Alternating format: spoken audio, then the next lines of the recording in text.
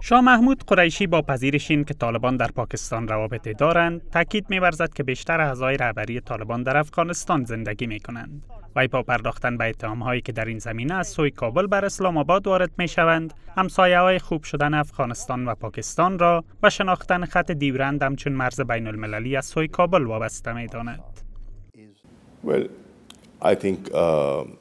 خب اگر ما می‌خواهیم به پیش برویم و باعث همسایه های خوب در کنار هم باشیم که خواست ما هم هست پس باید این مرز بین المللی را به رسمیت بشناسیم آیا این موضوع است که با مقام های افغان آن را در میان گذاشته باشد؟ خوب در ذهن من اگر آنان بنابر علتهای سیاسی داخلی این را بپذیرند یا نه این مرز که وجود دارد از دید من یک مرز بین المللی است. قریشی افزایش خشونت ها را به عوامل غیر از طالبان پیوند میده.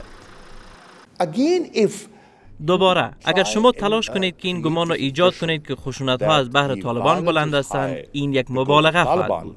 چرا این را می‌گویم؟ آیا در آنجا عناصر دیگر نیستند که نقش مخرب را بازی می کنند مانند کی؟ داعش مانند نیروهایی در داخل uh, افغانستان. کی؟ Uh,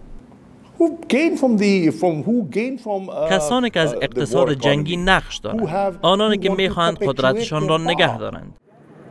وزیر خارجه پاکستان هشدار می‌دهد که ادامه وضع کنونی افغانستان را به جنگ داخلی خواهد برد.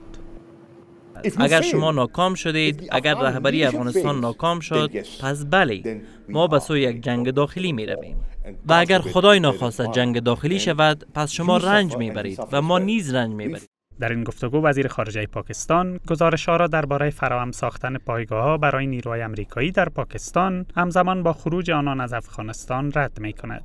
شاه محمود قریشی می افزاید که با خروج نیروهای امریکایی از افغانستان افغانان باید خودشان تعیین کنند که چگونه نظام و قانون اساسی می خواهند. هرچند وی خواست پاکستان را روی کار آمدن یک نظام همشمول در افغانستان می گوید.